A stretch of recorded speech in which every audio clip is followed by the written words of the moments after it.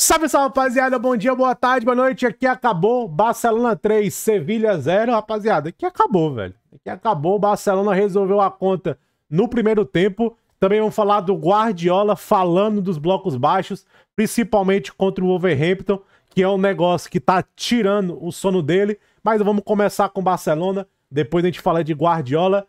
Rapaziada, um detalhe: obviamente vai rolar o segundo tempo, mas o jogo acabou. Em teoria, né, o jogo acabou. 3 a 0 o Barcelona, pode ser mais 4, 5. A gente sabe que o Barcelona não para. O Lewandowski tá com uma fome de jogo, uma fome de gols.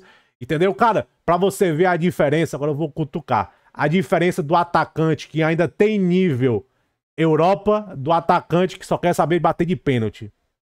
Você vê o Lewandowski? Cara, o Lewandowski tá bem fisicamente, movimentando, atacando espaço, marcando pressão, cortando linha, cortando passe, articulando transição rápida.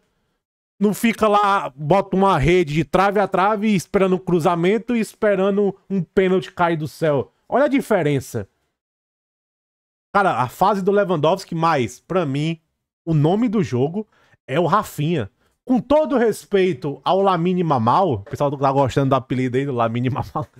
Com todo respeito ao Lamine Mamal, que é um puta talento, né, velho? Não precisa falar nada, né? Mas o cara do momento é o Rafinha, velho. Olha que louco, velho. Olha que louco que a gente tá falando. Gente, até o torcedor do Barcelona mais fã do Mamal tem que reconhecer, o cara do momento é o Rafinha.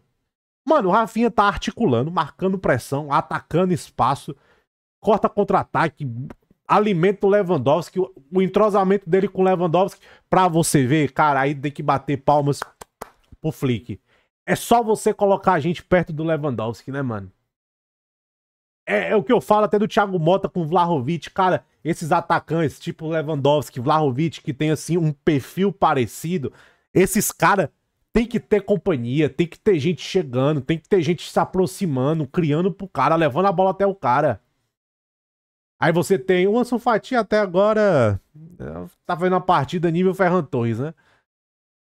O Eric Garcia sentiu, né?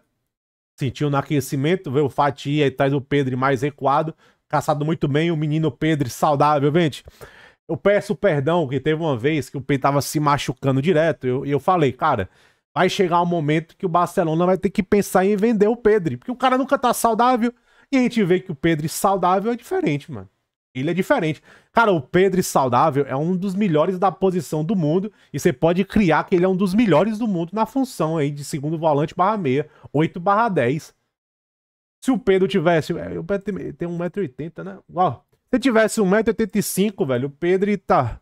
Seria, seria um deus. God of futebol, Pedro. God of segundo volante. E o Barcelona tá muito encaixado, os laterais, o Koundé tá muito bem. O Barcelona marca alto, joga com intensidade, ataca espaço muito bem. E se aproveita. O Barcelona também tá com o, o clima, o jogo tá vindo pro Barcelona. O. Você vê, o Barcelona corre atrás do jogo e o jogo tá vindo pro Barcelona. É o Peck Fernandes que faz um pênalti, para atropela o Rafinha Faz um trator e o Rafinha malandro também sente o contato e cai. O Rafinha malandro fez a dele, pênalti claro.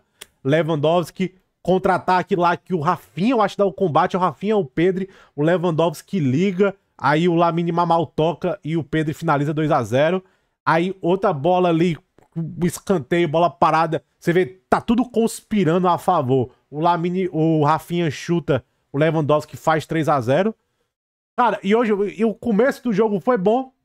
Foi bom o começo do Barcelona, começou bem. Depois ali o Sevilha teve os momentos, o Luque Bagrio, bagriano como sempre, toma decisão. O Luque Bagrio, ele toma a decisão errada e ainda finaliza errado. Manda lá no céu. É o Luque Bagrio, né? Não tem o que falar do Luque Bagrio.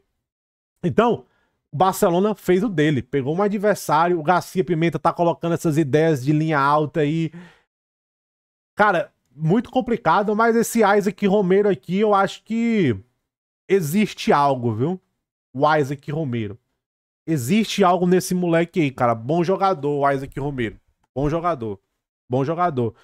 Forte, deu trabalho ali, a zaga. O Kubasse deu um trabalhozinho ali e tal, mas o Kubasse se saiu muito bem. Pelo que eu tô vendo aqui, o Barcelona já tá modo Vamos, não vamos se cansar muito, né? Tem um Bayern de Munique na semana e vai ser um jogão, rapaziada. Agora vem dois testes, né? Bayern e Barça Real Madrid no Bernabéu. Depois tem um clássico. Tem, caraca, se, é três clássicos seguidos, né? Bayern, Real Madrid e o Espanhol, que é o clássico da Catalunha. Mas o Barcelona tá muito bem, o time tá azeitado, atacando espaço, linha alta, intensidade, um time que coloca muita energia no jogo. Hoje já não, já não teve aqueles, aqueles, aqueles começos esquisitos. Ainda é um time que joga com uma linha alta, bem alta. Essa linha alta ela vai ser testada contra o Bayern de Munique, vai ser testada contra o Real Madrid.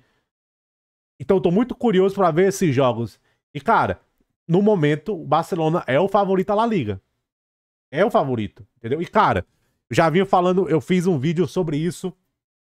Ah, vai sair amanhã pros membros falando de Haaland e tudo mais. Mas o torcedor do Barcelona tem que reconhecer mais a temporada do Inigo Martinez. Entendeu? O Inigo Martinez está jogando muito, muita bola. Muita bola o Inigo Martinez. E o Barcelona atropelou o Sevilha, fez o dever de casa, líder isolado, três pontos do Real Madrid. E, cara, hoje o Barcelona. Agora sim, o Barcelona chega como favorito contra o Real Madrid. Tá jogando bem mais que o Real Madrid, belezinha? Falar em Real Madrid, Barcelona e tudo mais, vamos falar do Guardiola. Olha o que o Guardiola fala, ó. 11 jogadores. Deixa eu converter aqui. Guard 18. 16 metros. Caraca, velho. É 18 e ó. 11 jogadores dentro de 16 metros, entendeu? É difícil. Olha que o Guardiola fala, ó, 11 jogadores dentro da, da área ali, ó. Eu acho que ele quer dizer a pequena área, né? Eu não acho que ele tá querendo falar toda aquela extensão ali, né? Eu, eu acho que quer dizer realmente toda a grande, a pequena área, né?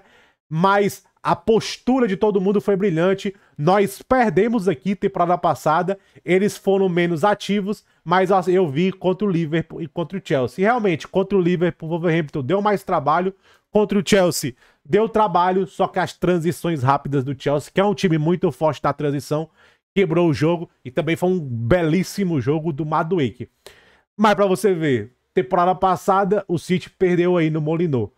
Gente, isso é um debate que eu tô tendo muito com o pessoal do Chelsea. Essa questão dos blocos baixos tá complicado.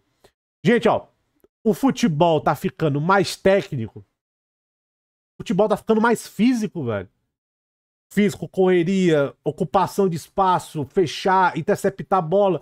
Então, quando você bota 11 trogloditas, 11 bodybuilders dentro da pequena área, você vai sofrer para furar, velho. E, cara, vai ter times que vai sofrer mais, como é o Chelsea. Você vê que o Chelsea tem uma dificuldade a mais. Mas o Guardiola e o City pede o De Bruyne, o Foden e tudo mais, pra você ver. No segundo tempo, no primeiro tempo, até falei, o primeiro tempo foi bom, o primeiro tempo não foi ruim. O Gundogan tava bem, o Bernardo Silva tava bem. Quando o Gundogan e o Bernardo Silva saíram, que são ali os, os articuladores, você vê que sente. Você vê que o negócio trava, já não vai mais. E o três zagueiros. A, a outra coisa, ainda tem um quê especial do Wolverhampton dois, três volantes ali. É três volantes. Dois volantes de muita pegada, que é o João Gomes e o Lemina. Três zagueiros, dois alas. Aí você tem que ter cuidado com dois, dois centroavantes ali, doido para explodir. Eu até brinquei. O Wolverhampton não sabia atacar. Ele só queria contra-atacar. Ele não queria atacar, ele só queria contra-atacar. Pegar o City em bloco em, em, em transição, pegar o erro, e o Guardiola fala, ó, bloco baixo. E o Guardiola falou sobre isso. É, deixa eu botar aqui, low blocks, sleep. Guardiola. Acho que ele vai falar. Eu, eu, eu tenho que achar isso, velho. Ele falando sobre isso.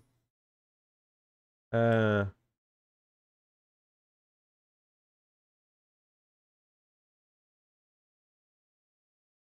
Cara, eu preciso achar isso, velho. Que é. Que é ele falando que ele perde o sono, ó. É, que ele perde o sono pensando maneiras de quebrar blocos, entendeu? De quebrar blocos baixos. Pra você ver como é difícil. E ele fala, você bota 11 malucos dentro da, da pequena área, cara, é difícil você furar isso. Eu vou achar essa fala. Eu vou achar essa fala do Guardiola, belezinha? Tamo junto, deixa o like, se inscreve no canal. É nóis.